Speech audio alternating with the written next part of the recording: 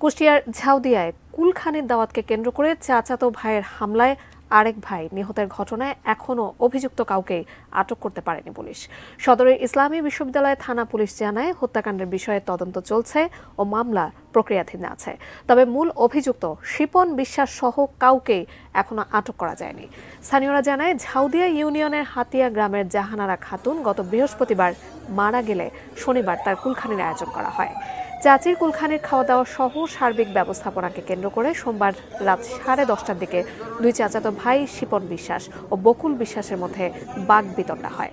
এক পর্যায়ে শিপন বিশ্বাসের নেতৃত্বে বিশ থেকে পঁচিশ জন দেশীয় অস্ত্র নিয়ে বকুল বিশ্বাসের ওপর হামলা চালায়। হামলায় বকুল বিশ্বাস সহ ছয়জন আহত হন। তাদের হাসপাতালে নেওয়া হলে চিকিৎসক বকুল বিশ্বাসকে মৃত ঘোষণা করেন।